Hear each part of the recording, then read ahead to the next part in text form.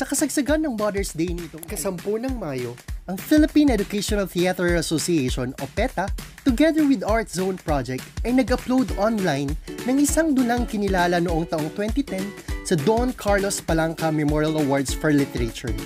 Ito ang PETA's Rated PG. Isa itong pampamilya na kwento kung saan may layuning ipakita ang moderno at wastong pagdidisiplina sa mga bata. PG is a play developed to tackle the issue of uh, positive discipline for children. Bukod sa tumatalakay ito sa realidad ng isang tahanan, hindi mo matatawaran ang ganda at nakakaaliw ng musika at produksyon nito. Panoorin na ng buo ang dula sa PETA Online dahil may stream lamang ito sa limitadong araw. Ito ang mga tatlong nakakaantig na kanta sa dulang ito. Number 1, Huwag Kang Matakot, musika at liriko ni Vince De Jesus.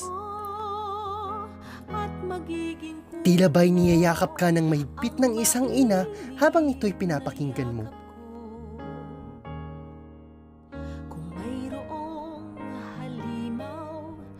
Number 2, ano nga ba ang tama?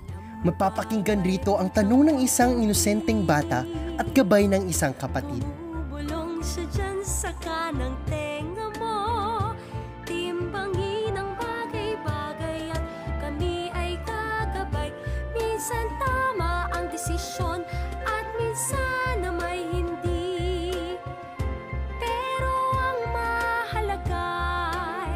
Number 3, madadama mo dito ang bugso ng damdamin ng isang anak sa kanyang ina.